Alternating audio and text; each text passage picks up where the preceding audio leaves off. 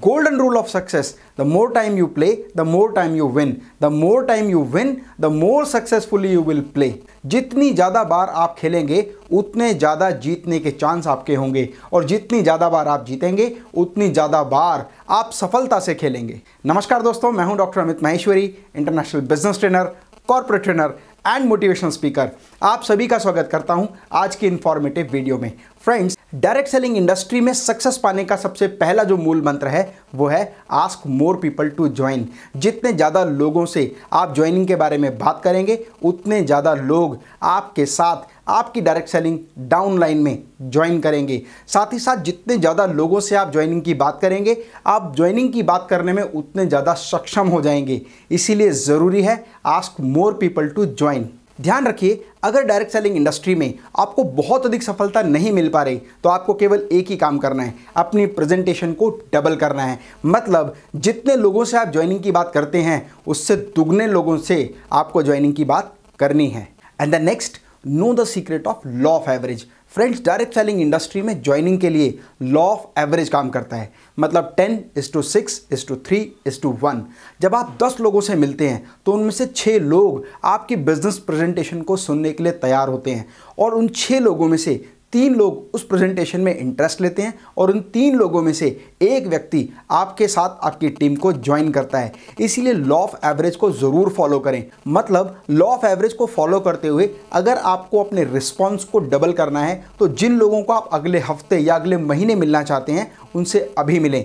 क्योंकि law of average यहाँ पर काम करता है। और जब आप ज़्यादा से ज़्यादा लोगों से मिलेंगे तो ज्वाइनिंग भी ज़्यादा होगी। इसलिए talk to more people and go to your maximum potential एक कहावत है कि अगर खटखटाओगे तो दरवाज़ा ज़रूर खुलेगा और मांगोगे तो ज़रूर मिलेगा। आपने कई बार सुना होगा कि first impression is the last impression for making positive impact first impression बनाने के लिए कभी दूसरा चांस नहीं मिलता।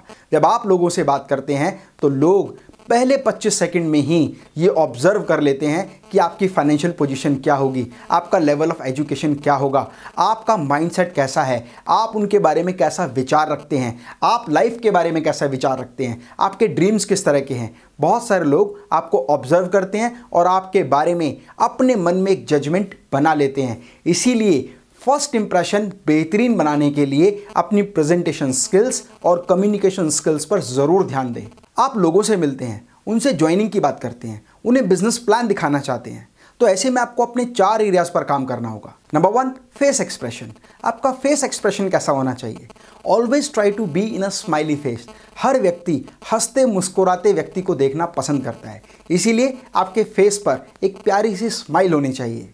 Second that is dressing sense मैं आपसे एक बात पूछता हूँ। आप किस उपलक्ष्य पर कैसे कपड़े पहनते हैं? क्या आप होली पर सूट बूट पहनते हैं? नहीं ना। क्या आप दिवाली पर होली वाले कपड़े पहनते हैं? नहीं ना।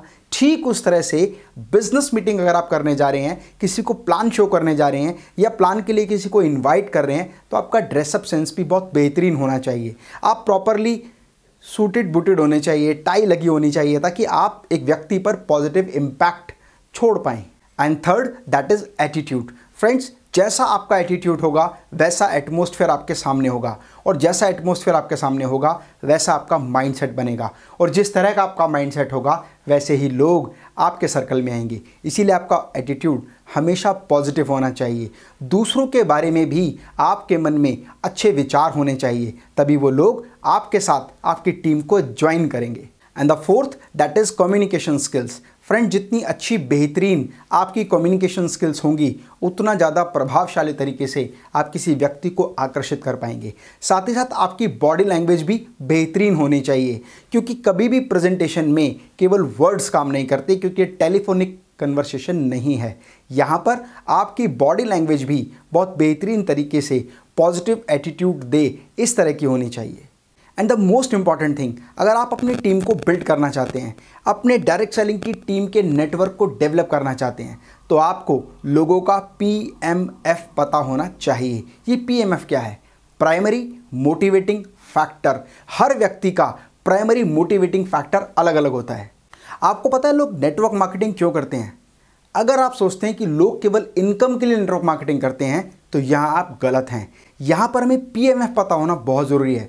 उनका प्राइमरी मोटिवेटिंग फैक्टर क्या है? हर व्यक्ति का प्राइमरी मोटिवेटिंग फैक्टर अलग होता है। कुछ लोग इनकम को देखकर अट्रैक्ट होते हैं और नेटवर्क मार्केटिंग को ज्वाइन करते हैं। कुछ लोग अपने टाइम को स्पेंड करने के लिए, अपने नेटवर्क को बिल्ड करने के लिए और अलग अलग लोगों से मिलने के लिए आप नेटवर्क मार्केटिंग को ज्वाइन करते हैं क्योंकि उनका शौक होता है नए नए लोगों से मिलना, बातचीत करना, उनसे रिलेशन डेवलप करना। कुछ लोग नेटवर्क मार्केटिंग इसलिए करते हैं कि उन्हें कम इन्वेस्टमेंट में अपने बड़े ड्रीम्स को पूरा करना होता है। जैसे उनका घर, उनकी गाड़ी, उनकी फाइनेंशियल फ्रीडम और बहुत सारे टूर्स जो नेटवर्क मार्केटिंग में बहुत अधिक दिए जाते हैं। इसलिए लोगों के पीएमएफ को ज़रूर जानें। उनके पीएमएफ को जानने के बाद, उनके ड्रीम्स को जानने के बाद, उनके थॉट प्रोसेस को जानने के बाद उन्हें अपने बिज़नेस की प्रेजेंटेशन ज़रूर दिखाएँ और प्रेजेंटेशन दिखाने के बाद उनसे बातचीत करें कि उनके मन के क्या प्रश्न हैं, उनके मन में क्या उलझने हैं, वो क्या पूछना चाहते हैं, क्या जानना चाहते हैं, वो अपनी टीम के बारे में जानना चाहते हैं प्रोडक्ट के बारे में जानना चाहते हैं सर्विसेज़ के बारे में जानना चाहते हैं और मिलने वाले बेनिफिट्स के बारे में जानना चाहते हैं।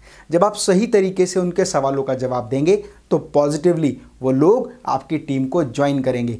अगर आप डायरेक्ट सेलिंग इंडस्ट्री में अच्छी कंपनी के अच्छे प्रोडक्ट के साथ एक अच्छी टीम को ज्वाइन करना चाहते हैं तो आप मेरी टीम को कॉन्टैक्ट करें। फ्रेंड्स मेरे जीवन का उद्देश्य है कि भारत के हर घर से एक सफल बिजनेसमैन बन सके। इसलिए मैं आपके लिए लेकर आता हूँ बिज़नेस डेवलपमेंट की ये वीडियोज़ मेरा कोई भी इंफॉर्मेटिव वीडियो मिस ना हो, उसके लिए चैनल को सब्सक्राइब करें। कमेंट बॉक्स में मुझको लिखकर ज़रूर बताएँ कि डायरेक्ट सेलिंग इंडस्ट्री से रिलेटेड आपके मन में क्या प्रश्न है। स्वस्थ रहें मस्त रहें। मैं डॉक्टर अमित माहेश्वरी, आपके सुनहरे भविष्य की कामना करता हूँ। जय हिंद, जय भारत।